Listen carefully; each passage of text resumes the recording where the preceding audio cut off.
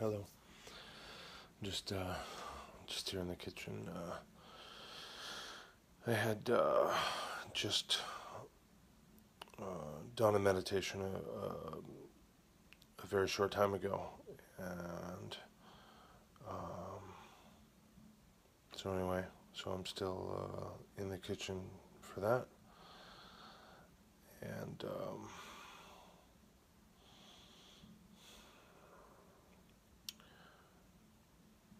That's where I had done the previous one, I guess. Uh, at any rate, uh,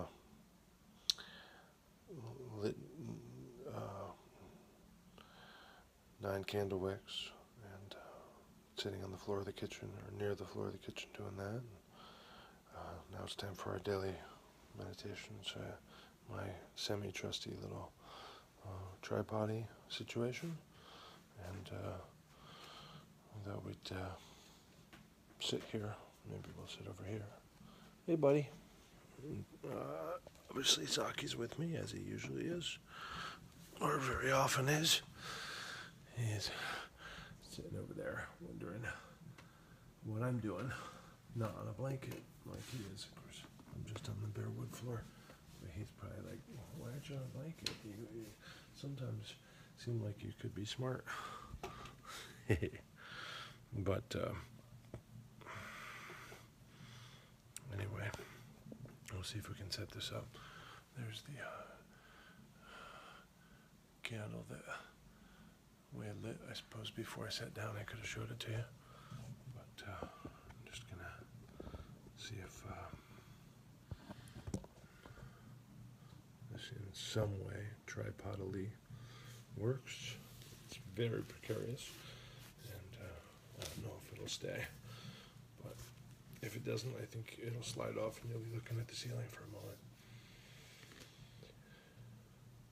So I'm sitting here next to the uh, dishwasher and uh, next to some dishes and next to the dinner I haven't cooked. But I had a cup of tea. I don't know where I set it down. I think I set it down next to Saki. Uh, there's the uh, artwork by Krista Witten there. Uh, one piece is called Passion. So. There they are.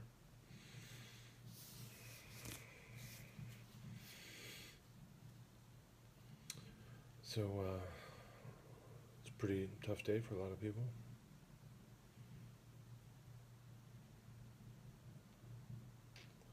Change over power here in the United States in terms of the one third of the government that has a, a neat and clean single person changeover. And so uh, there's some um,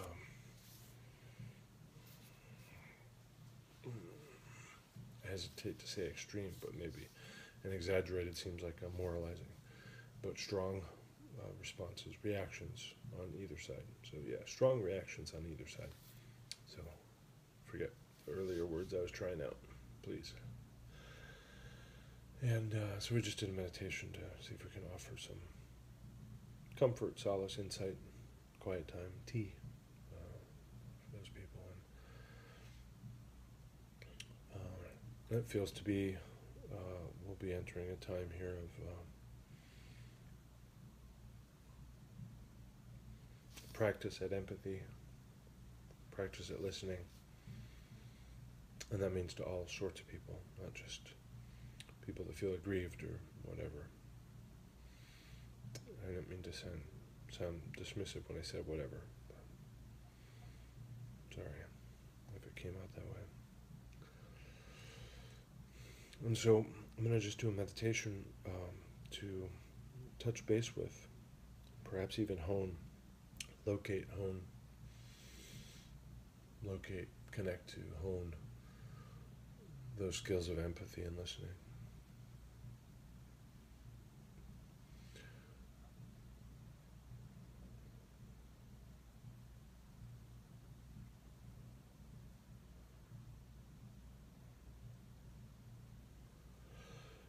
And so, excuse me, practice.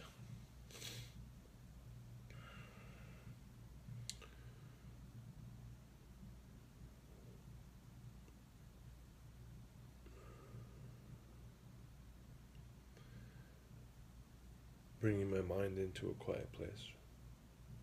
I kind of picture like a stone, you know, it gives you that sense of uh, never changingness. Um, a stone does. And obviously a place of firm support, like foundational. So kind of rest my mind on a stone in my mind. Actually, I have a jade pillow that I practice that with for some time. So I kind of literally rested my literal head on a literal stone.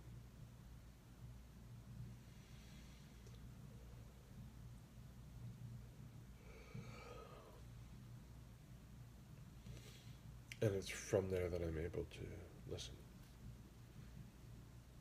to move beyond hearing and listening. Too often, when we try and listen, we actually end up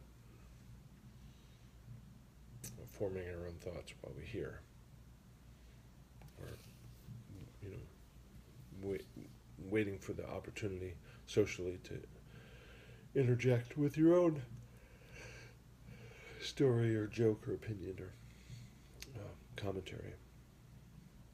And so that mind stone is a commentaryless place. It's patient without waiting. It's quiet, uh, won't have anything to say, it's just listening. But it's gently and lovingly connecting. It's sincere and it's listening. It's not unable to hear like you might imagine a, a literal stone, you may imagine, cannot hear literally. But this is not without the ability to speak. This is listening without commentary. So there's a kung fu to it, there's a choice to, but not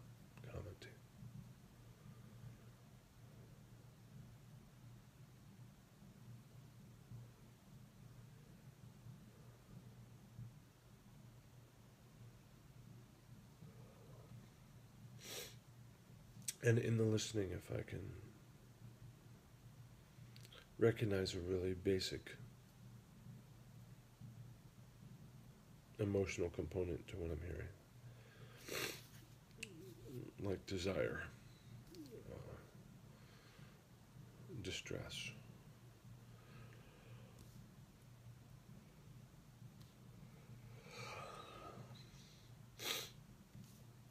Anger, grief these sort of things, like a very basic. Uh, you think about the uh, pantry staples of the emotional closet. So not very complex emotions. Um, so one way to think of it is like a deck of cards. You know, there's 52 cards, and there's 13 cards in each suit. So um, it's, it's a lot to keep your head on. It's even it's hard for people to count cards even. So that's a lot of things with variation in them.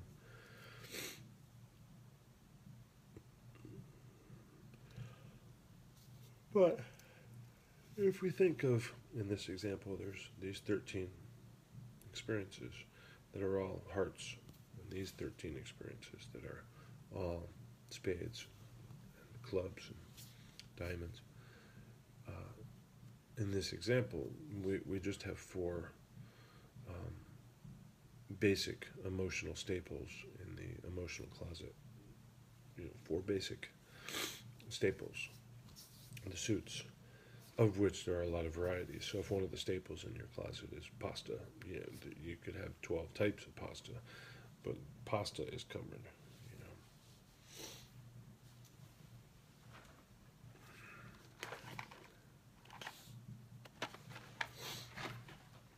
Um, so if I get caught up in thinking as I'm listening, you know, connecting as I'm listening, and thinking, boy, I've never been angry at an intern that worked for me because of what the boss said in a meeting directed to the marketing department. Like, I can't relate to that. Well, that's just saying, well, I don't have a three of diamonds in my hand. So I nothing to relate to. But diamonds, I know. Like, I have had a person, um, maybe less educated, less aged, for example, that's why I said intern, than myself, who has made this similar type of conf- this uh, type of confusion and had this effect on someone, etc. It doesn't matter the example. It matters. Uh, it would have mattered if I had a good example, but I don't. The idea is that I don't have to have a seven of diamonds to connect to your seven of diamonds, but if I have or know a diamond, which is just one of four, then I can connect. So rather than getting bogged down in the details as I'm listening, and the mind quickly notices where I don't relate, instead I just look for the suit. Like, what are they at a basic level? A pantry staple of emotional cupboard. What are they saying? They're saying there's jealousy, they're saying there's fear, they're saying there's frustration, they're saying there's anger, they're saying there's sorrow, they're saying there's grief, they're saying there's confusion. Like, oh, I know those. I've never been confused about that thing. That seems silly to be confused about. Or I've never been confused to that degree. Or I've never been confused while I'm angry. That's right, you don't have clubs and hearts in your hand, but you know both. And so, resting the mind on the mind stone and coming into a sense of the basic staples in the emotional cupboard can help me then listen and relate. And so I'm going to just come into the mind stone and then take stock of the pantry.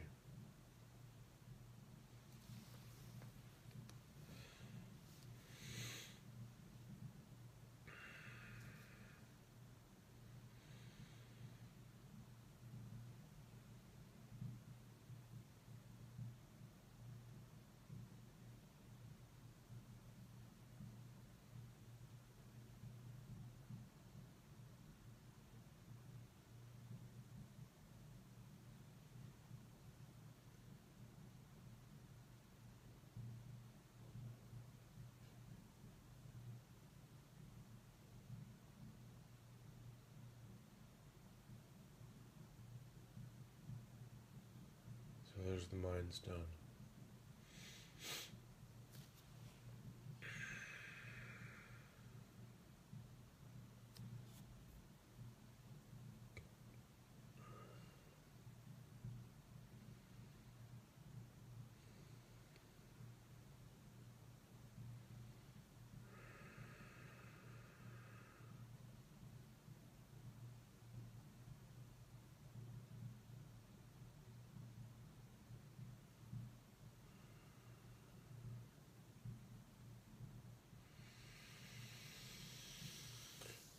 There's the pantry. So this isn't supposed to be exhaustive. It's not supposed to be the final answer that a psychologist would recognize, or it's not to be right.